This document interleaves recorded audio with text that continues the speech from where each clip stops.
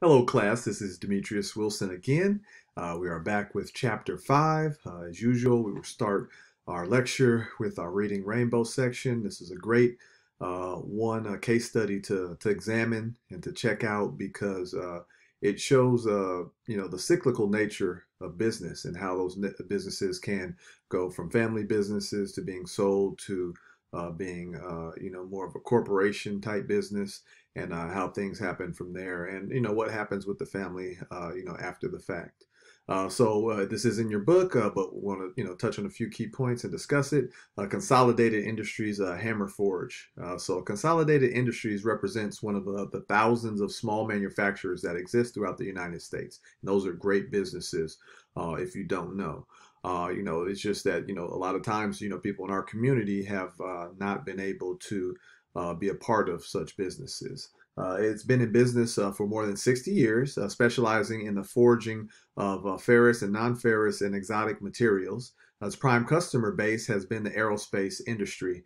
it has also expanded into other industrial customers, right? So aerospace industry, obviously, you know, big money if you're downtown like El Segundo, uh, you know, towards that area. You see all the big companies like, uh, you know, like Raytheon, uh, like what used to be Hughes Aircraft and things of that nature, Boeing uh, over in Long Beach. Uh, originally a family business, uh, Consolidated Industries was sold to new owners in 1999. once the owner reached retirement age, his children, a brother and sister, found it difficult to agree on the future direction of the company, and that's that's normal, right? You know, some people have different views and values. Uh, this period of confusion uh, was made more difficult when the head of sales died, right? So, you know, if you cut off the, the fountain of money, uh, that, that's going to be tough as well. Uh, competitors exploited this situation. Uh, the new CEO, John Wilbur, immediately recognized that there had been some complacency about generating new customers, and the firm would not be able to survive in the long run merely on its backlog of orders, right? You had to generate new business. Uh, so Wilbur uh, began to aggressively deal with the firm's problems and build its customer base. In 10 years, he was able to take consolidated industry sales from 8 million to a year of 30 uh, million dollars a year, right? And so the key point to that is in 10 years, right? It wasn't like he said in one year, it was in 10 years, right? So a lot of people want quick fixes, snap my fingers, wave my magic wand, but it doesn't quite work like that. He attributes much of this success to the firm's uh, commitment uh, to business planning, right?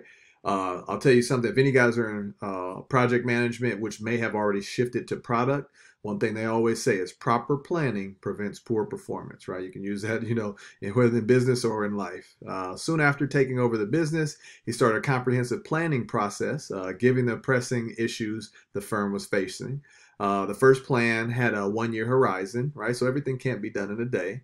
Uh, it was instrumental in gaining the support of consolidated industries bankers, right? So you you have to have a game plan if you you know want to tell people to give you money, right? You have to learn to say, hey, this is how we're going to make money, and this is how we're going to pay you back for the loans that you give us, uh, which carried it through those difficult years. In the inter, in the intervening years, the plan's horizon was expanded to five years. Although Wilbur admitted uh, about that the projections uh, may be pipe dreams, right? So, you know, like they're saying, like, hey, this may or may not happen. After the first two years, he said it was important to maintain the five year horizon to force the business to think about the future. And you always have to think about the future. Some of those companies that we talked about didn't think about the future and they're gone. Blockbuster's gone. Circuit City's gone. That's, that's how it works.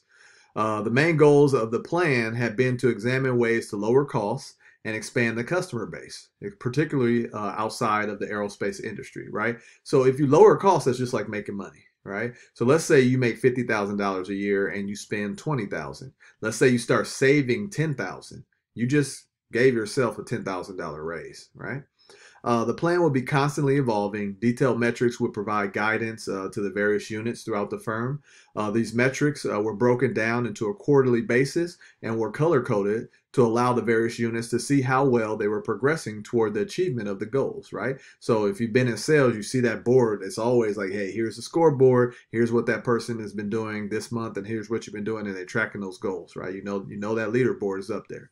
Uh, it had a detailed sales plan that emphasized de- uh, developing new customers and new industries.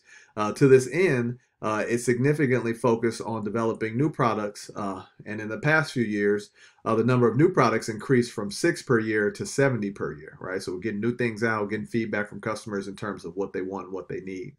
Uh, this meant an enlargement of the engineering staff, but it also meant a closer relationship with this customer. So, like I said, you know, a close relationship, understand what they want, uh, give the people what they want. Right? Uh, Wilbur estimated that 50% of the new products were a co-design with customers. Uh, the planning process will also enable the business to incorporate technology in new ways. The firm used video conferencing to communicate with both customers and sister units, and you know that's every day tonight. You know these days, right? Everybody's using video conferencing. Uh, another important element of the plan was the concept of a concept of succession planning. As vital as the planning process was, Wilbur said it's all about people. Uh, any plan to improve the firm uh, has to bring the people into the process and bring them together. And like I, you know, may have mentioned in other classes, uh, you know, I took over a business unit one time and I did not uh, bring the people together. I just came in and said, "This is the way it is," swashbuckling all the way. If you don't like it, get out. And they they did it, but it did not bring the people together. And I can guarantee I would have garnered greater results if I had have done it the right way. But best part about that is that I learned from it. Uh, you know, a lot of times people think that you know just being perfect and pristine all the way is the way to go, and it's, and it, you know it's really not. You know, make some mistakes, uh, do some things wrong, you learn from them, and you'll get better along the way. So let's talk about uh, developing your, your strategy as a business. Uh, so some learning objectives that we have. Uh, understand the term strategy and why it's important for small business. A lot of times people ignore strategy when it comes to small business. Hey, I'm just trying to get this. I'm too busy. I'm trying to get this business off the ground. That's all I can do. Uh, define four generic strategies identified by Porter, uh, who is uh, you know a renowned expert on business. evaluate the ramifications of uh, each generic strategy uh, for the operations of a small business. Uh, so I have a couple quotes in here that are great. you know, and quotes aren't going to be on your quiz or test, but they're good to just you know understand like you know how you want to think about things. without a strategy, the organization is like a ship without a rudder going around in circles, right? So there's an old school song that says, go around in circles, right? You're just going to keep going around in circles and you're, you're never going to get it done, right? So that's uh, by Joel Ross and uh, Michael Kami. Uh, it is critically important for any business organization to be able to accurately understand and identify what constitutes customer value, right? So not only do you have to know and understand who your customers are, but you need to know what is value in their mind. Who cares what value is in your mind, right? Maybe you have it right, maybe you don't, but you have to know and understand what the value is in the customer's mind. Uh, to do this, one must have a clear idea of who your customers are or will be, right? So you have to know and understand: Are my customers somebody who's rich? Is my customer somebody who's middle class? Is my customer somebody who does not have a lot of money? Uh, you know, I was coming back from track practice uh, earlier today, and uh, my kids were like, "Why is that line so long?" And I looked up and it was Costco gas, right? And so we're going to talk about how you become like a price leader and things like that. And I said, well, you know, Costco's gas is very cost effective, and then people get up all times in the morning and they they're willing to sit there in those lines to get that gas. Uh, you know, me, I can't do it. You know, I, I feel like you know maybe I should be able to take the time out of the day, but I have a lot going on, and I'm like I'm going to the quickest gas station, and it it, it doesn't matter uh, you know, if it costs a few cents more, I'm just going to try and get in and get out. And so it's all about, you know, what your preference is. Uh, here's an example. A restaurant identified its prime customer base as being upscale clientele, right? So people want to go spend the big bucks in the business section of a major city. A restaurant recognized that it has numerous competitors uh, that are interested in providing the same clientele with an upscale dining experience. Our example restaurant might provide a five course five star gourmet meal to its customers. It also provides a superlative service. Uh, if, com- com- if a comparable restaurant failed to provide a comparable meal, then the example restaurant, right, will have a competitive advantage, right? So if my food is let's rate it as A and your food is rated as a B and our prices are the same, I now have a competitive advantage. Now, if my prices are lower and your food is better, now it's about preference, right? Now, you know, you have more money than me, so you're going to go to that restaurant that has better food. I don't have as much money, so I'm going to go to the restaurant, you know, that that you know the the price is a little bit lower. So, providing excellent customer service may be a necessary condition for business survival, uh, but it in itself is not sufficient condition. So, meaning it may be necessary for you to have great customer service, right? I feel like in my industry that I'm in, it's necessary that we have great customer service, right? Uh, and like I said to you guys, we don't call it customer service, we call it our, our member loyalty department because that's the point. We want to do right by them and keep them as members. But uh, you know, some companies just don't focus on that because they don't have to. Uh, other companies you know have to do it. They absolutely have to do it to survive. But that is not the only that can't be the only thing steering the ship. Uh, you know, if you have terrible pro- a terrible product, doesn't matter how good your customer service is, uh, you are not going to survive. Uh, the word strategy is derived from a Greek word uh, strategos, uh, which roughly translates into the art of the general, namely a military leader. Leader, right? So the general, he's the guy who's leading the troops, right? And sometimes the, the funny thing is, like everybody thinks people, you know, want to be the one all the way at the top in charge. Some people want to be a general. Some people like the action. Some people like the the thrill of it. Uh, so you know, you, a lot of generals they, they like that and they stay in those positions because they really they feel like they can lead something and leading people into battle, and they're they're great leaders. So generals are responsible for marshaling required resources and organizing the troops and the basic plan of attack.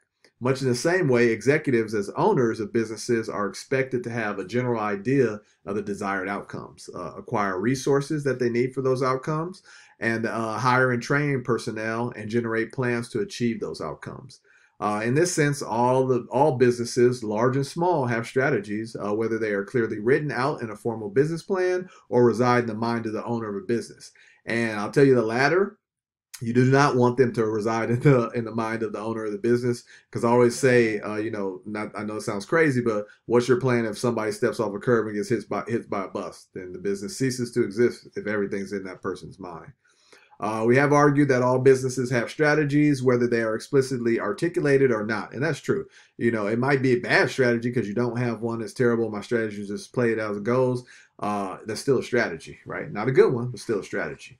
Uh, Perry stated that small business leaders seem to recognize that the ability to formulate and implement an effective strategy has a major influence on the survival and success of a small business. And obviously it does. And I, I, know it's very, very easy for small businesses to not, you know, uh, you know, create a strategy or do the things that they need to do and cross the T's and dot the, dot the I's, but it, it's, it's necessary if you want to survive, right? Uh, the extent to which a strategy should be articulated in a formal manner, such as part of a business plan, is highly dependent on the type of business. Uh, one might not expect a formally drafted strategy statement from a non employee business, meaning it's just one person, uh, funded singularly uh, by the owner. Uh, one researcher found that the formal that formal plans are rare in businesses with fewer than five employees. But it's still important because that business plan is not just about your strategy. You know, you have to have that business plan because a lot of times people will not give you a loan, they won't give you money, won't give you grants unless you present a business plan. And the, the brass tacks of it, which people hate me to hate for me to say a lot of times, is that a lot of times if you're going to a bank or something like that, they want to know how are you going to pay me back when you fail, right? That's what we want to know. Like, what am I going to come take when your business fails? I mean, it, sucks to say that, but that's that's you know the mindset that they have. Uh, so clearly specifying your strategy uh, should be seen uh, as an end in itself, uh, requiring the company to specify a strategy focus, uh, that the company uh, to think about its core issues. and so here are some of those you know things that you should be thinking about. So who are your customers? How are you going to provide value to those customers, which we already mentioned those two? Who are your current and future competitors, right? Who's in the game with you right now and who's coming in later?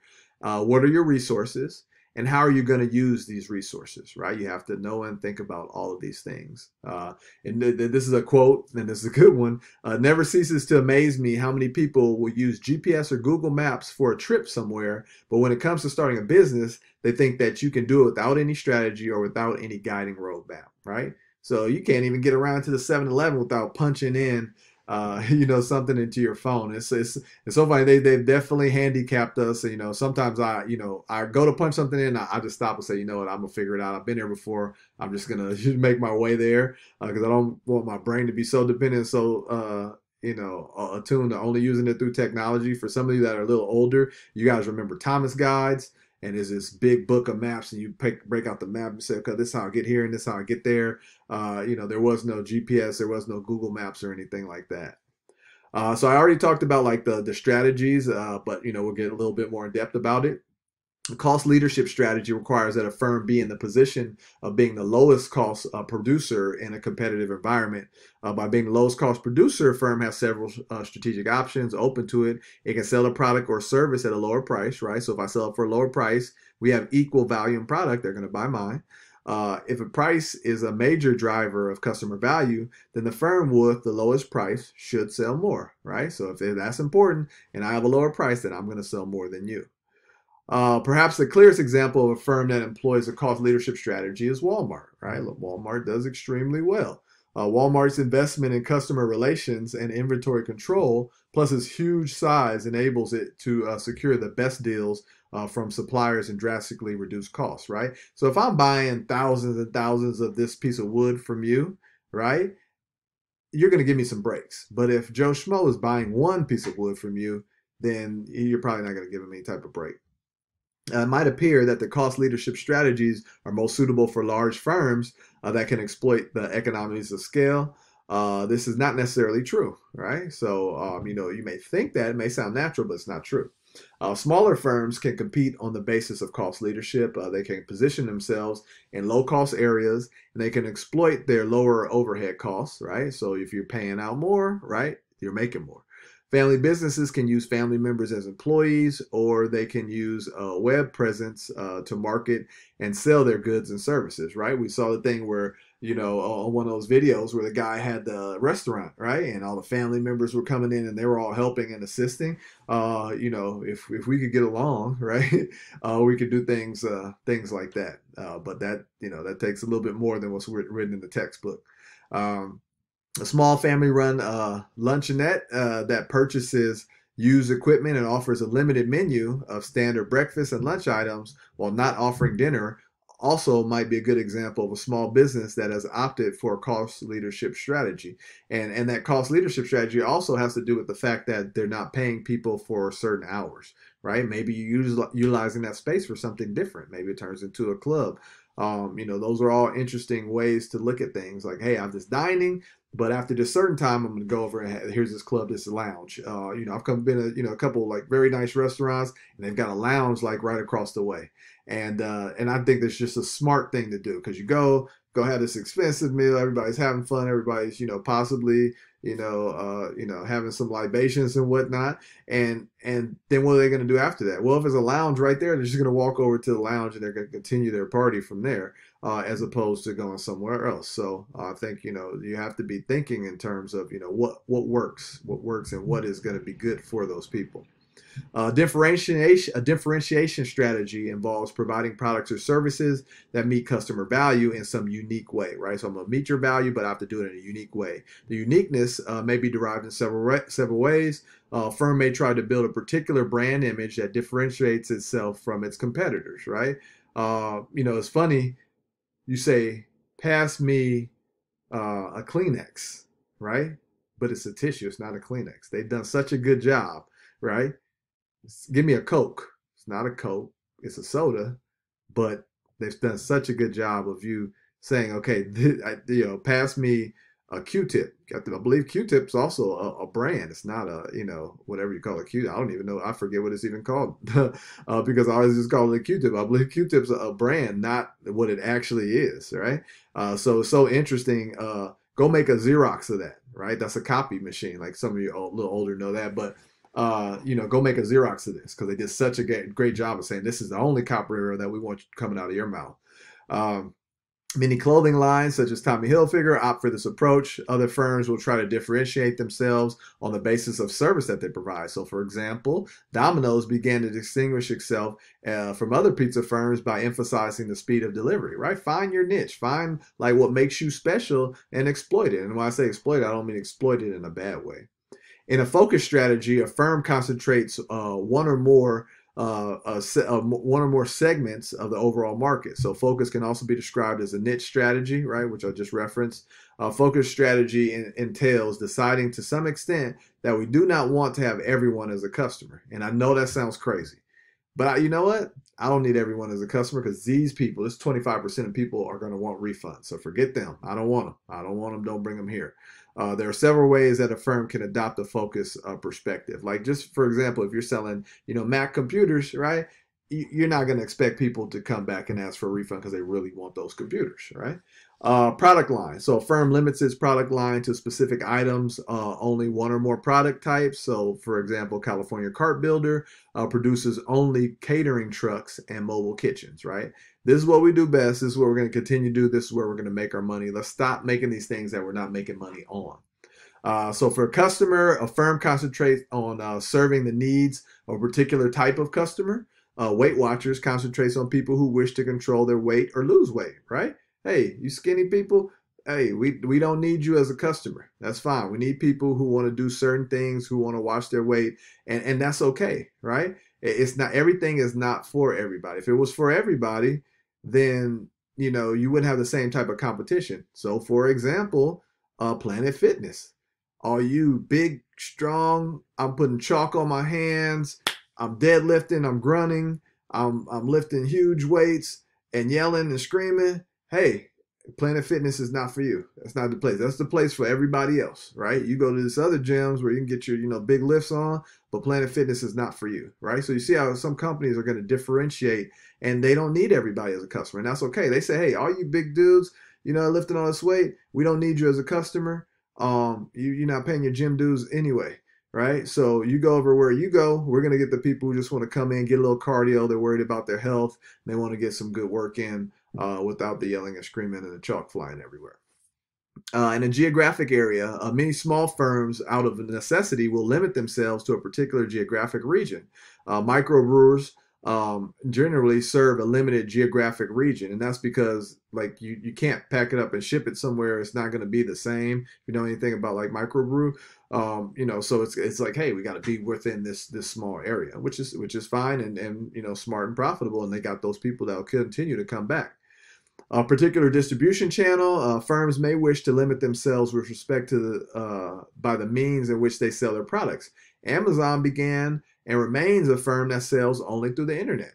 We don't want to open up an Amazon store where, and I know that they purchase Whole Foods and you know the Fresh Kitchen and stuff like that, but we're just talking the basis of their business.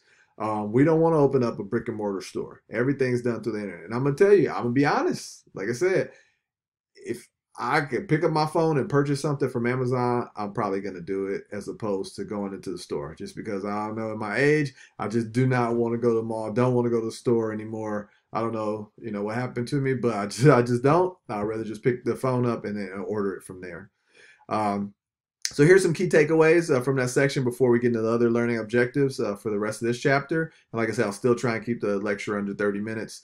Uh, any firm, regardless of size, uh, needs to know how it will compete right? Uh, this is a firm strategy. Strategy identifies how a firm will provide value to its customers within its operational constraints. Uh, strategy can be reduced to four major approaches, uh, like I said, cost leadership, differentiation, cost focus, and differentiation focus. And once a given strategy is selected, all of a firm's operations uh, should be geared to implementing that strategy, right? Uh, you know, everybody needs to be rowing the boat the same direction. Uh, no strategy will be successful forever, and therefore uh, needs to be constantly evaluated. And I always go back to Blockbuster. I mean, I remember even myself going in there trying to find a Blockbuster card going to get me a, what was I getting? Um, Butterfinger ice cream. I give me a Butterfinger ice cream, maybe two or three, and give me a movie, and I was ready to go. And right, and I remember first it was VHS, and then then it became DVD. Oh, we got these DVDs, right? So a DVD player. I couldn't find a, a VCR right now to save my life, right? Uh, you know, so then it was DVDs, and now I do not think that I have any DVD players in the house, and I don't have a computer that takes a CD. And you see how we've progressed and things have changed. And now we're just, you know, so far away from the way things used to be.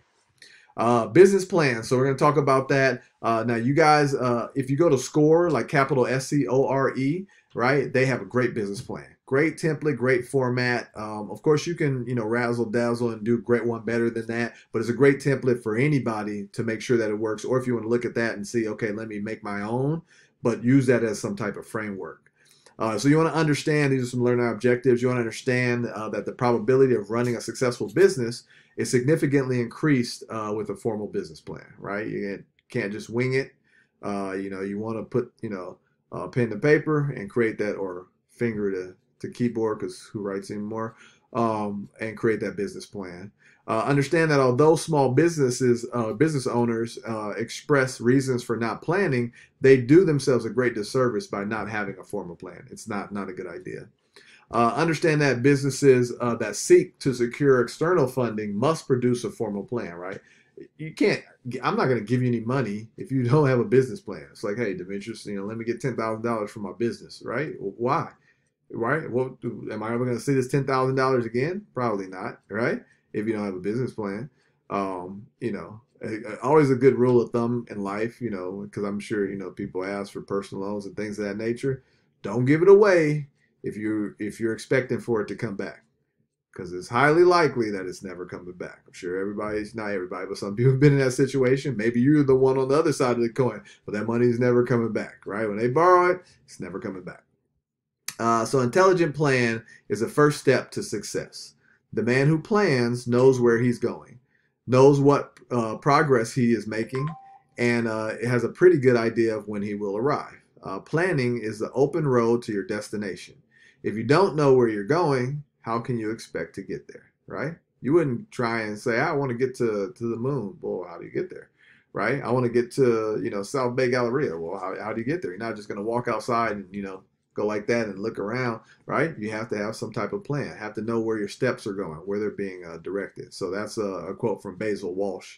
Uh, basically, there are two main reasons for developing a comprehensive business plan.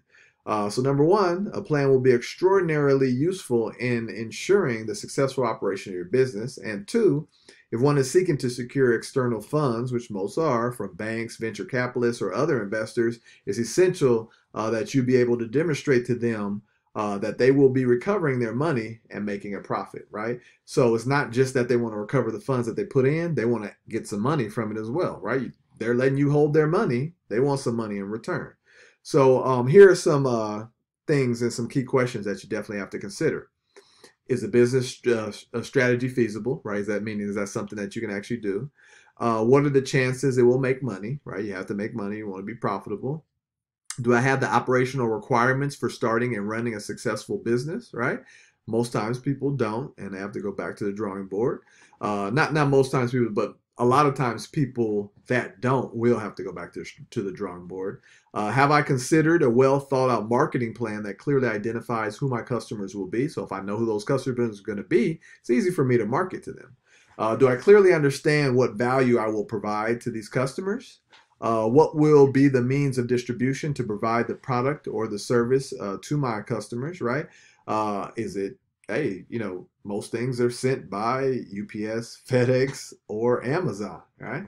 Uh, have I clarified to myself the financial issues associated with starting and operating the business, right? Uh, am I am I clear about that, right? A lot of times people people are not. And do I have to re-examine uh, these notions to ensure success? Right? You know, do you have to go back to the drawing board? Uh, unfortunately, it appears that many small businesses do not take any effort to build even an initial business plan, let alone maintain a planning process as an ongoing operation. Right? So you, even though you put it out there in the beginning, you still got to you know keep it going. Uh, even though there's clear evidence that there is failure that the failure to plan may have serious consequences uh, for uh, future success of such firms. Uh, unwillingness to plan uh, may be understandable in non-employee businesses where it's just like one person, but it is inexcusable as a business uh, grows in size, right? I know everything times the essence, same thing with me, but you got to do it. Uh, why, therefore, do businesses fail when you know to begin the, the actual planning process?